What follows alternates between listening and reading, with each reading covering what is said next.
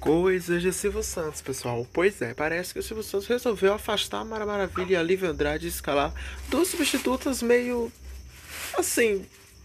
escalações meio estranhas. Como a da Fro, que é contratada da casa, e a Ana Paula Renault, que vai ser convidada, se mandar muito bem, pode ser contratada pelo SBT para estar tá lá, né?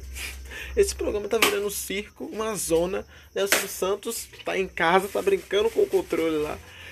Pelo que eu fiquei sabendo, o Silvio Santos afastou, porque ele, na opinião dele, a Mara, que, é, na, na opinião dele, não, na opinião de, de, muita gente, a Mara tá, tava querendo aparecer demais.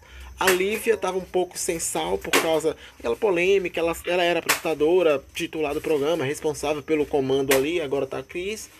Aí ela falou o negócio lá da Igreja Universal, a fake news e tudo, e acabou saindo, só que ela voltou, mas tava meio, né, assim. O Gabriel e a Cris foram bem avaliados pelo Silvio, principalmente a Cris Flores, que falou que ela aguenta é, as tretas, as trocas de, afine, de afinetadas das duas ali com muita elegância. E o Gabriel também, um posicionamento. Assim, particularmente, eu acho que o Gabriel não combina muito com o programa, mas a Cris realmente manda muito bem. Vamos ver o que vai ser, né? Essa mudança vale a partir de amanhã, então amanhã nós vamos ver aí, né? O que você está planejando. Pois é, então é isso aí, meu povo. O que você acha?